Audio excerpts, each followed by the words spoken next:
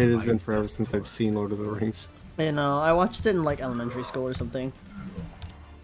But I after in after watching Lord of the Rings, I was it, it was game over. I loved elves ever since. Oh, what's his face, right? Uh, Legolas. Right, yeah. Not that I hate dwarves. Dwarves are okay. Your love for them just dwarfs in comparison. Yes.